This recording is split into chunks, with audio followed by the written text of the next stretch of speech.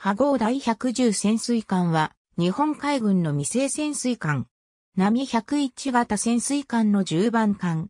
太平洋戦争後に海没処分された。丸線計画の輸送潜水艦小型、第4601号艦型の10番艦、歌唱艦名第4610号艦として計画。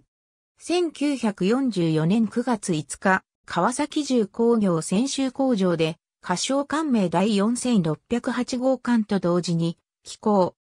10月5日、波号第110潜水艦と命名されて、波101型潜水艦の10番艦に定められ、本籍をクレチンジフと仮定。12月6日、偽装員事務所を川崎神戸造船所内に設置し事務を開始。1945年1月12日、浸水。浸水後の偽装は川崎重工業本社艦船工場で行うが、同工場での偽装工事はほとんど未着手だった。終戦時未成。8月17日、工事中止が発令され工程40%で工事中止。1946年4月15日、キー水道沖でアメリカ海軍により海没処分された。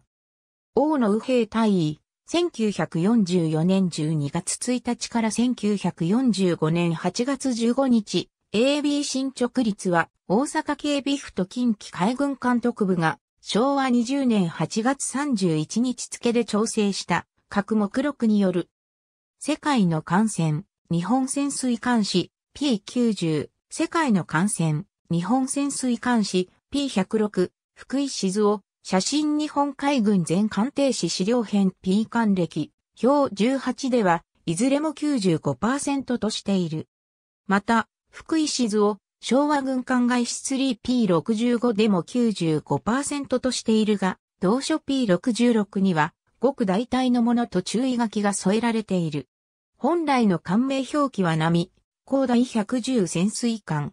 ありがとうございます。